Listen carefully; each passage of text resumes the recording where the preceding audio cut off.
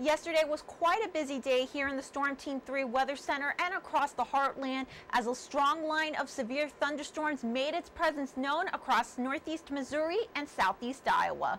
Now around 11 a.m. yesterday, most of our viewing area was placed under a tornado watch, while other parts of our viewing area were under a severe thunderstorm watch as we were under a slight risk of severe weather by the Storm Prediction Center in Norman, Oklahoma.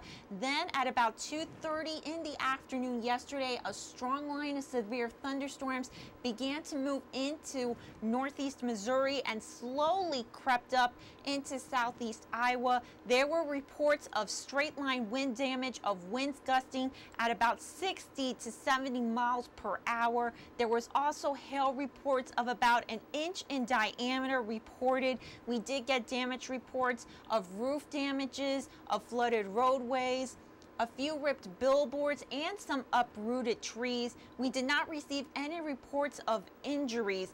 Now, yesterday's storms were a reminder that severe weather season is very much here across the area. This will be a perfect time to assemble a disaster kit and have a plan in place when severe weather does strike again here in the heartland later on this season. For now, reporting from Kirksville, I'm meteorologist Vanessa Alonso, KTVO News.